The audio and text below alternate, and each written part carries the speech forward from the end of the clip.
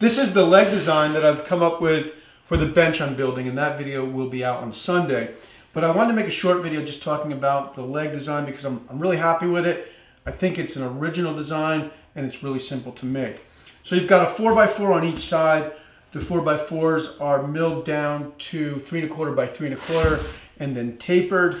And then you've got a centerpiece and this is made with a 2 by 2 by 8 that's milled down to 6 and a quarter inches.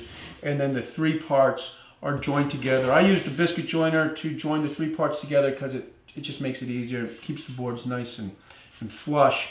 So you have one side of the leg that's nice and smooth, and then on the other side you've got this return.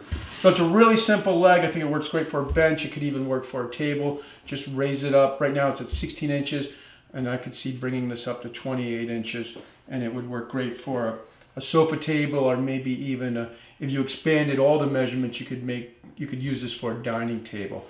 So just a short video that I thought was worth uh, mentioning in its own kind of standalone because um, I just thought it was. If you like these kind of standalone short videos on a project, things that I think that are stand out, did I say that already? Uh, let me know in the comments.